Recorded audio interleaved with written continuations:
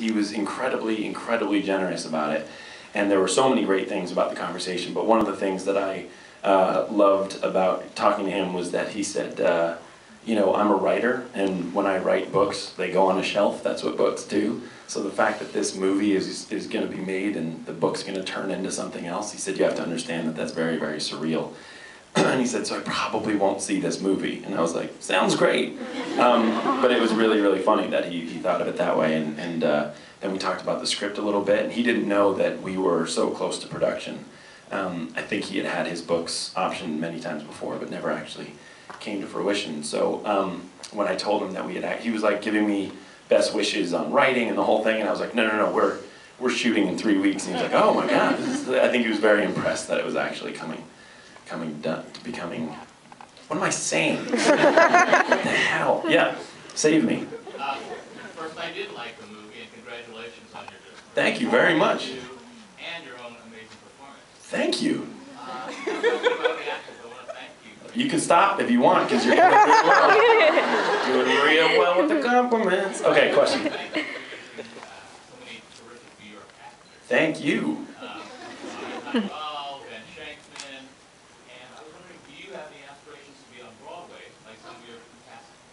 I would love to be on Broadway. Good luck finding someone who would want me on Broadway. but if they want me on Broadway, I'm there. No, I would, I would die to be in a play. That would be fantastic. It's actually something that I'm hoping comes very, very soon. So if anybody knows anybody. um, but, uh, you know, as far as the, the casting goes, it was weird. I actually started writing the script before I got the rights. Stupid. Don't do it. Um, didn't think it was going to be that hard to get these rights that everybody was talking about. Uh, and it was. It was very difficult. So I started writing the script, and, and I was actually waiting tables at the time.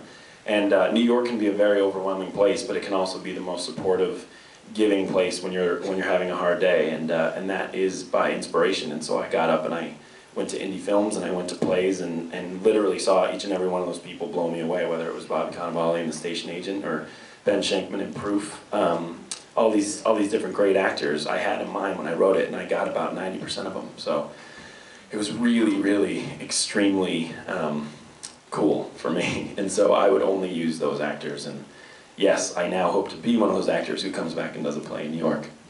Oh, yes. It will be a one-man show, yes. interpretive dance.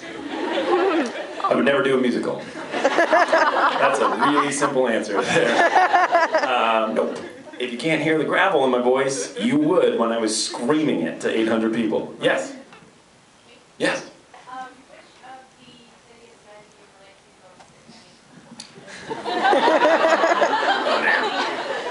that is a quagmire.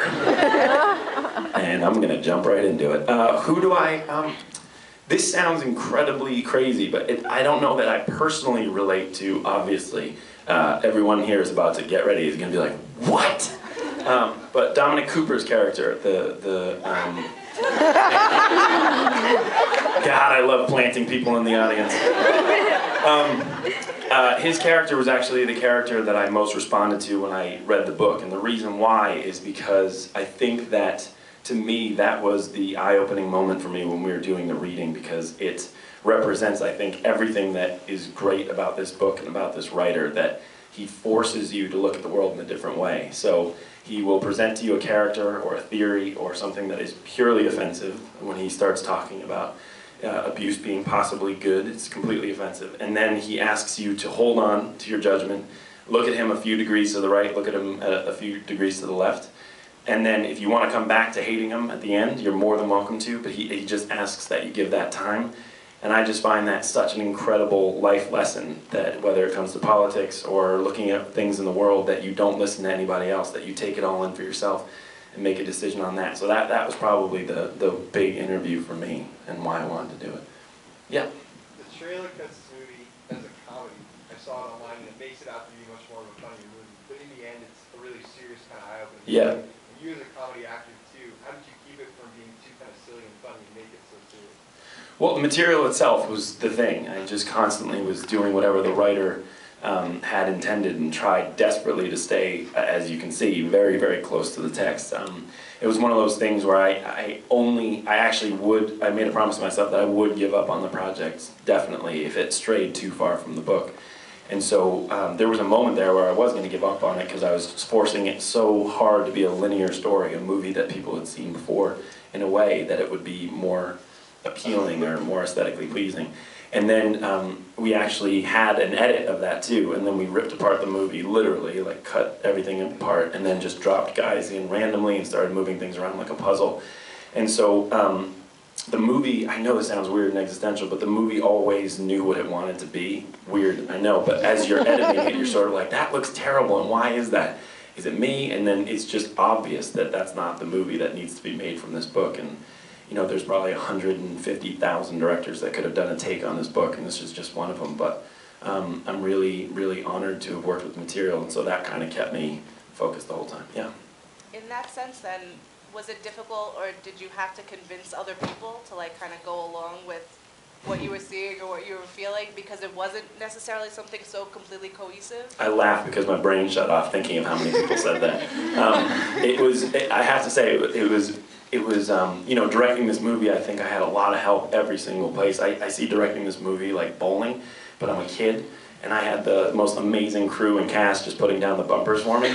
And so at the end of the thing, I was like, I'm an incredible bowler. and they were like, well, let's put those away. And now try it again. And I was like, I'm a terrible bowler. Um, so I had a lot of help, but uh, um, as far as running it up the hill before the production actually came in, it, it was astounding how many people were scared of it. And um, I only say that because of all the people who decided to sign on, signed on for all the right reasons. Nobody did it for a job, because trust me, this isn't a big high paying gig. Um, but they all jumped on because they loved the book and they loved the material. My only thing that I told all the actors is that they weren't allowed to read the script, which is an incredibly pretentious thing to say to agents. Like, they can't read the script until they meet me. Um, but they all agreed to it and they all met me. And then after I pitched them what we really were trying to do, then when they read it, they all signed on from the material solely. And so once I had sort of an allegiance between all these people, it was phenomenal. It just was unstoppable. But up until then, I mean, every single step, it was like, I have this movie, no. Like I have this book, no. Like Was it, fu- sorry, yeah? Like I was doing a bit, sorry, hold on. Hold on one second, let me finish this amazing bit. I'm done, go ahead. I mean, I would think that, like, creatively, actors would lend themselves to something new and exciting and provocative and Yeah. something like that. But even like funding-wise, Well, I was about to say, yeah, the actors is like the fun part. That's like when you won the game and you all get to go out for pizza. But like before that, it was really, really tough for like funding and producers and things like that. There was a lot of like, well, we can't do that. And then I was kind of like, well, we have to. And I'll tell you, I wrote all down, down all the fights, and we'll talk about it. yeah. When you're filming, did you have to stick mostly to the script, or did you have to remember like improv a little bit? or- weird. I'm I'm a huge believer in improv. I think that uh, uh, despite what you might think on the show, it is actually completely scripted. We don't imp- improv a lot on the show, but there's that feeling of like if you have an idea at the last minute in, on the show, you're very much encouraged to do it, and they use it a lot. And it's just that kind of freedom of respect back and forth between directors, writers, and actors. So I very much would have loved to be the guy who's like, oh man, just feel it out. But that kind of wasn't what we were there for, and it wasn't it wasn't my doing. It was the book. But luckily, like I said, all the actors that signed on just loved the material so much that they didn't want to stray at all. In fact, it was so cool to see people like mess up a line a little bit, and I loved it. I was like, that was amazing. And they're like, no, we're gonna do it again. Mm-hmm. And again, the bowling things were down. And I was like, I loved it. I thought it was great. Yeah, how long did it took you to adapt the book into a screenplay? And- six years. And were you concentrating mostly on, on the interviews or mostly the short stories, because they're mostly long. Yeah, yeah, yeah. The, uh, it's only the interviews. The short stories, I'd be dead if I tried to do that. Um, but no, it was just the interviews, and uh, the reason why it took so long was partly because of the show. I was in and out of the show, and then the other thing is um,